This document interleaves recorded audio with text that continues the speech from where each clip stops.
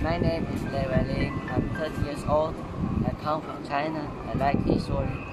I have been living in Enkhuizen since 2018. And Enkhuizen is a small town with a rich history. There are still a great amount of remains from Golden Age.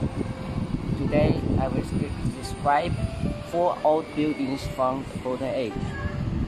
Pepper House is a former VOC warehouse. The warehouse was built on 605. It got its name from one of its first functions, warehouse for pepper and other old Asian spices. The warehouse is a typical richly decorated Asian uh, merchant's house. the Moon is the building where VOC coins were mined. This happened alternately in the Enkhuizen or Omega. The building is located at 125 West Street. The beautiful facade has remained almost intact. The facade is decorated with many gable stones.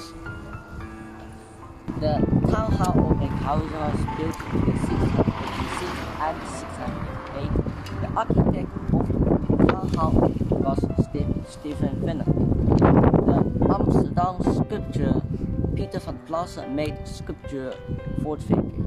On the facade is a book with the beginning of the text of the charter in, in 1356, in which uh, William V, Count of Holland, gave his rights to the Enkhuizen. On the left of the facade is a poem that Joost van Vondel wrote on a rote bed. The canal that captured from Dunkirk and the, the cannon that stand on the front of the facade is captured from Dunkirk by Hayek in 622. House Warehouses can be found in many Dutch cities. In Waag is situated at Kaasmarkt. Originally, the Waag is used to collect taxes and to weigh goods using a scale so that, that no conflict would arise between buyer and seller. In, in 1636, a super Rome had been located at the first floor. When you enter a house, immediately see the court. It was built on 649. The gate had a military function.